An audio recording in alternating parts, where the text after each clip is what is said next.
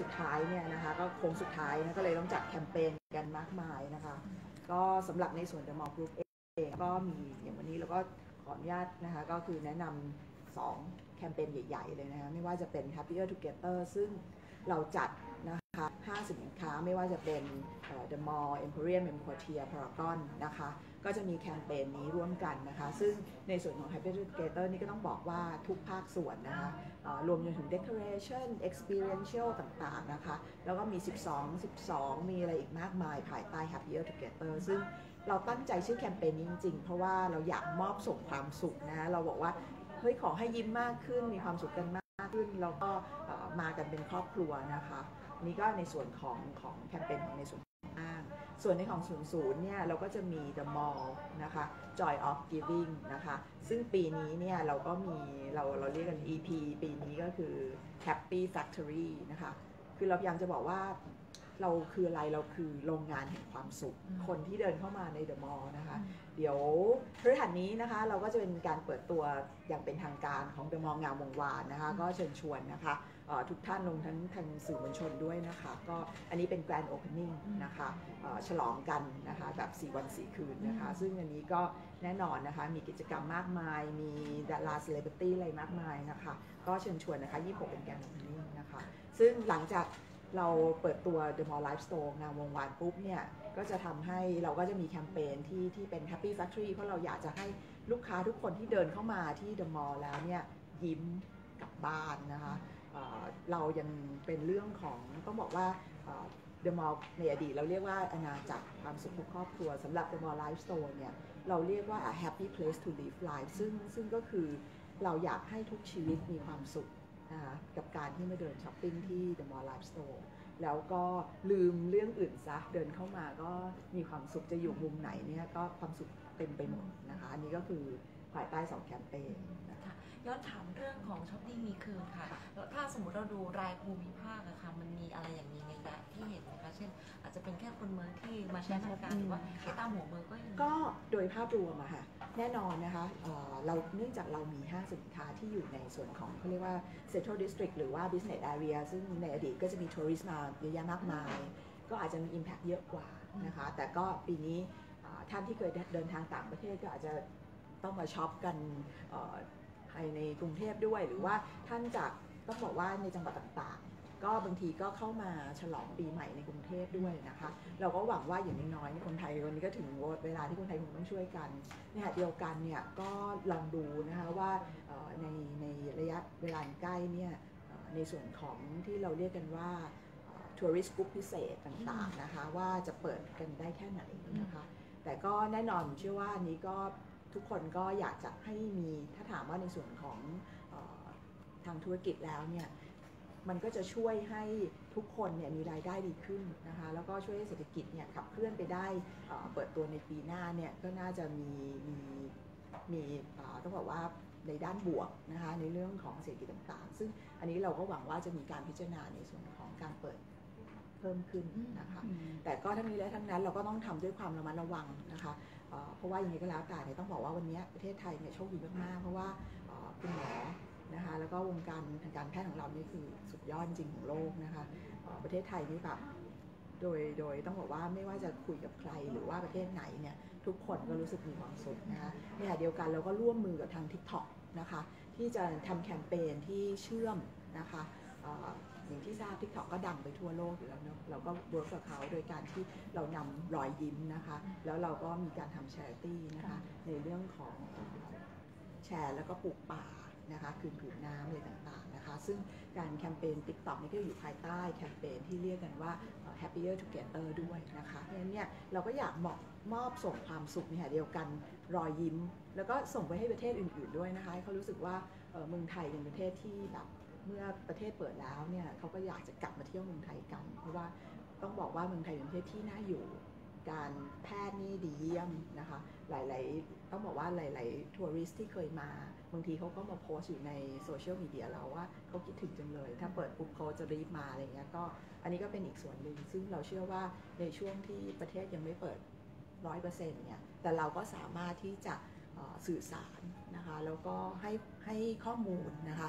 ให้คนเขาเวลาพอเราเปิดปุ๊บเขาอยากมานะคะ ก็อันนี้ก็สามารถทำประชาสัมพันธ์ไปได้แต่ตอนนี้เลยใช้จ่ายปีใหม่ เป็นยังไงบ้างเรามองปีนี้ ปกติแล้วมันจะยอดมูลค่ามากกว่าช่วงปกติ สักสักเท่าไหร่เท่าตัวหรือเป็นเท่าตัวปีนี้ต้องบอกว่าปกติอะเอ่อในแง่ของไตรมาสที่สินะคะ ยอดขายก็ก็แน่นอนเป็นไตรมาสที่ได้ยอดขายสูงสุดอยู่แล้วนะคะประมาณยเอ่อยอดยอดขายเนี่ยปกติประมาณ 35%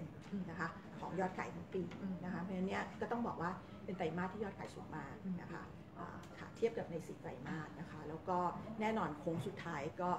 อ่าไม่ว่าจะเป็นโปรโมชั่นไม่ว่าจะเป็นอีเวนต์ไม่ว่าจะเป็นกิจกรรมต่างๆ รวมไปจนถึงโซเชียลมีเดียต่างๆอะไรเนี้ยก็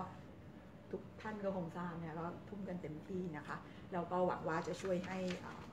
ทุกคนนะคะไม่ว่าจะเป็นแบรนด์คู่ค้าหรือการทำ collaboration กับทุกๆอ่าองค์กรเนี่ยก็จะช่วยกันทำให้เศรษฐกิจของประเทศเนี่ยดีขึ้นพฤติกรรมการใช้จ่ายของผู้บริโภคที่มาช้อปปิ้งเนี่ยพฤติกรรมเขาเป็นยังไงเขาลดการใช้จ่ายไหมคะอย่างเช่น เคยซื้อหมื่นหนึ่งหรืออะไรแบบเนี้ยมันมันมีแบบหัวหัวอะไรมันลดลงไปชอบจริง แต่ว่าแต่ว่าการใช้จ่ายนี่มันเป็นยังต้ไงองบ้างต้องบอกว่าเอ่อจริงๆแล้วอะค่ะ ทุกคนก็ยังซื้ออยู่นะคะ แต่ว่าอาจจะซื้อน้อยลงนิดนึง หรือว่าบางท่านก็อาจจะมีเรื่องของบาง category ซื้อเพิ่มขึ้นบาง category อาจจะแบบว่ายังไม่ได้ซื้อเยอะ เช่น category ที่ที่ยังซื้อเยอะมากก็คือเป็นพวก beauty เพราะว่าหา beauty คนซื้อเยอะมากจะเซอร์ไพรส์ตั้งแต่โควิดมาเนี่ยทุกคนต้องทำ ซูมบ้างอย่างบางบางองค์กรก็เริ่ม implement work from home ที่ค่ะเป็นแบบเรียกกันว่า permanent ไปเลยอะไรอย่างเงี้ยค่ะงั้นเนี่ย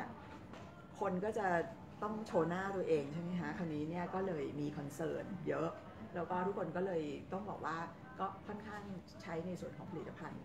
beauty เยอะนะคะในขณะเดียวกันเนี่ยเอ่อผลิตภัณฑ์ที่เกี่ยวกับอืม telecom communication ก็คือพวกสื่อสารต่างๆเนี่ยนะคะก็ต้องบอกว่าขายดีมากนะคะ telecom อุปกรณ์ทั้งหลาย gadget อะไรที่ช่วยให้การสื่อสารเขาเนี่ยเอ่อสะดวกค่ะนะคะแล้วก็ติดต่อได้รวดเร็วเนี่ยอันเนี้ยก็จะขายดีมากค่ะนะคะหรือในส่วนของเออต้องบอกว่าอุปกรณ์เวชภัณฑ์ต่างๆพวกเนี้ยก็ตามตามกันมานะคะเอ่อ จะ drop ไปบ้างก็จะเป็นในส่วนของเอ่อแฟชั่นอะไรเงี้ยนิดหน่อยนะคะที่ที่อาจจะบางท่านก็รู้สึกว่าไม่มีอีเวนท์ให้ไปอะเนอะเพราะว่าเราเรายังต้องอยู่ในช่วง ก็ยังมี social distance บ้างหรืออะไรบ้าง เพราะฉะนั้นเนี่ยการจัด big event มันมันมันยังไม่สามารถ cater ได้เพราะฉะนั้นเนี่ยการแต่งตัวก็อาจจะยังไม่ไม่ร้อยนะคะเอ่อส่วนเรื่องอื่นๆก็ก็เริ่มเทรนด์ก็ดีขึ้นนะคะยิ่งสิ้นปี ต้องบอกว่าช้อปดีมีคืนเนี่ยช่วยเยอะเลยค่ะก็ก็หลายคนมองว่าเอ๊ะ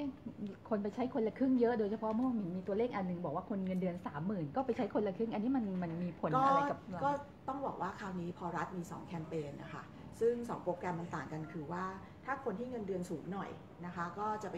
ใช้ช็อปดีมีคืนถ้าเกิดเอ่อคนที่เงินเดือนต่ำกว่า 3 0,000 ลงมา ส่วนใหญ่ก็จะไปอยู่ที่คนละครึ่งใช่ไหมคะ ซึ่งก็ได้กันทุกคนนะคะ อันนี้ก็เป็นแคมเปญที่สำหรับ สำหรับ The Mall Group เราก็มองว่าช่วยได้เยอะมากนะคะแล้วก็เราก็หวังว่าจะมีแคมเปญดีๆ อย่างนี้ออกมาจากทางรัฐเพิ่มขึ้นนะในปีหน้าด้วยนะคะก็ตอนนี้ก็อย่างที่เรียนนะคะมีลูกค้ามาใช้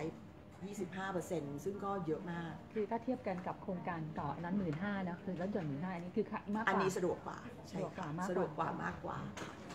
ลักษณะการใช้คือ เอ่อมันเป็นตัวทวีป่ะคะคืออย่างคนละครึ่งอะสมมติว่าจริงๆมันวงเงิน คิดว่าเขาจะใช้แค่ละสิบแต่ใช้จริงเขากลายเป็นแบบกระตุ้นให้ใช้ 200 300นะคะใช่ค่ะ ในอันนั้นแง่เนี้ยมันเหมือนกันนะคะ ก็ต้องบอกว่าการที่มีการ incentive คนอ่าเรื่องของภาษีใช่ไหมคะหรือว่าคนก็จะรู้สึกว่า โอเค อย่างน้อยๆ เราก็ได้ความคุ้มมากขึ้นคือเราก็ประกอบกับห้างเองก็มีโปรด้วย ใช่ไหมคะแล้วก็เอ่อ ไม่ว่าจะทางทางธนาคารต่างๆ แบงก์ต่างๆ ก็มีจะเป็นโปรโมชั่นบัตรเครดิตอะไรด้วยร่วมกันนะนะคะเพราะเนี่ยในหลาย ๆ ภาคส่วนพอรวมแล้วมันก็เยอะและคุ้ม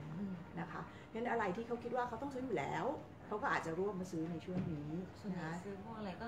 บิวตี้คือรวมอยู่ในช็อปดีมีทุกอย่างเลยค่ะนะคะชอบที่มีคืนนี้ได้ได้ทุกอย่างเลยเท่าที่ดูเขาก็ซื้อกระจายกระจายกระจายกระจายใช่ค่ะ ก็บางคนก็อาจจะซื้อเป็นเครื่องอุปโภคบริโภค บางคนก็ซื้อแฟชั่นบางคนก็ซื้อเออ ของให้ลูกอะไรอย่างเงี้ยค่ะก็ขึ้นอยู่กับเอ่อแต่ละแต่ละไลฟ์สไตล์ของคนนะคะ แต่ว่าก็ช่วยให้เขาตัดสินใจง่ายขึ้นจะทราบตัวเลขภาพรวมค้าปลีกของทางอุตสาหกรรมไหมคะว่าปีนี้เป็นก่อนก่อนหน้านั้นมันโตสักเฉลี่ยประมาณกี่เปอร์เซ็นต์แล้วปีนี้เรามองยังไงเอ่อภาพรวมคิดว่า อันนี้เท่าที่เท่าที่เรา forecast มัน forecast ยากมากเนอะค่ะปีนี้อะไรเงี้ยก็เราคิดว่าน่าจะประมาณที่ติดลบ6%จากปีที่แล้ว ปีนี้ติดลบปีที่แล้วนี่ อ๋อปีจากปีที่แล้วอ๋อเมื่อกี้ตัวเลขติดลบ8กับ6คือของเราหรือว่าของภาพรวมภาพรวมภาพรวมอ๋อโอเคโอเคงั้นก็ใช้ตัวเลขนั้นคือมาตรการทำให้ช่วยติดลบน้อยลงน้อยลงใช่ค่ะจาก7จุดประมาณ 7.8 7.9ประมาณเนอะแปดอ่ามันก็เหลือลงมาหก6ใช่ค่ะ ส่วนของ The Mall Group เองเนี่ยก็ต้องบอกว่าห้างที่อยู่เป็นเราเรียกกันว่า The Mall Brand เนอะก็จะเป็นเอ่อห้างที่เป็น neighborhood หน่อยก็คืออยู่ใน urban นะคะอันนี้ก็เอ่อจะติดลบน้อย เพราะว่าเบสเป็นคนไทยอยู่แล้วนะคะส่วนห้างในเมืองที่ base เป็น tourist ก็อาจจะติดลบมากหน่อยนะคะเราก็ segment ที่หายไปจริงๆก็คือ segment tourist นะคะส่วนเอ่อสำหรับเราเรามี The Mall โคราชเนอะซึ่งซึ่งเราก็เจอว่ายอดยอดดีเอ่อค่อนข้าง stable นะคะก็คือไม่ได้ลดไม่ได้ไม่ได้ลดลงอะไรอะไรอย่างเงี้ยค่ะ เอ่อเพิ่มขึ้นด้วยซ้ำนิดนึงนะคะ อันนี้ก็เฉพาะเดอะมอลล์โคราชใช่ค่ะเพราะว่าพอดีเรามีสาขาเดียวในต่างจังหวัดนะแต่ว่าสิ่งที่เราเจอก็คือว่าเอ่อคนเนี่ยกลับไปอยู่ที่อืมที่ถิ่นฐานตัวเองเยอะ เพราะว่าบางท่านก็ทำงานโรงแรมบ้างทำงานธุรกิจท่องเที่ยวบ้างพอเขากลับไปเขากลับไปอยู่ที่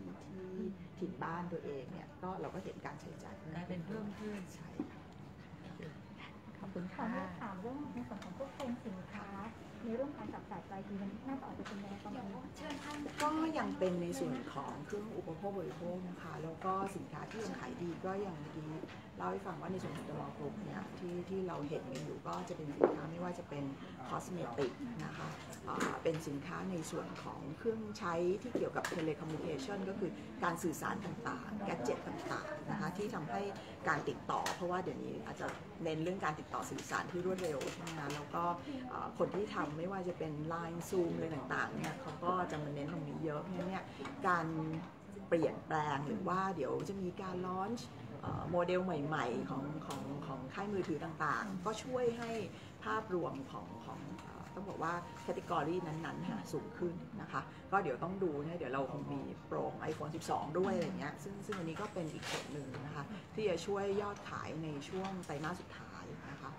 ประกอบกับช้อปดีมีคืนนะคะ ก็เมื่อกี้ที่ที่เรียนให้ทราบว่าช้อปดีมีคืนก็สำหรับผู้ที่มีเอ่อรายได้หรือสูงหน่อยนะคะซึ่งก็เป็น target group ของเอ่อในส่วนของ The Mall Group อยู่แล้วนะคะเพราะว่าเราก็มี The Mall Emporium m o n t e Paragon ที่ที่ลูกค้า 25%เนี่ยนะคะมา join ช้อปดีมีคืนนะคะค่ะอย่างนอกจากไอ้ตัวช้อปดีมีคืนอย่างพานี้เขาจะมีพวกลดราคาสินค้าอะไรต่างๆ อันนี้เข้ามามีส่วนช่วยในเรื่องการกระตุ้นการจับจ่ายช่วงปลายปีใช่ด้วยค่ะไหมคะแน่นอนค่ะ ก็ทำให้คนตัดสินใจได้ง่ายขึ้น แล้วก็ลูกค้าก็รู้สึกว่าไม่ว่าจะเป็นโปรห้างแล้วโปรบัตรเครดิต แล้วยังมีโปรรัดด้วยได้หลายต่อก็ตัดสินใจง่ายขึ้น แล้วก็บางทีต้องใช้จ่ายอยู่แล้ว เขาก็จริงๆก็บอกเขาก็อั้นมาเนาะมามาที่โค้งสุดท้ายค่ะโอเคค่ะ ขอบคุณค่ะค่ะเชิญทานได้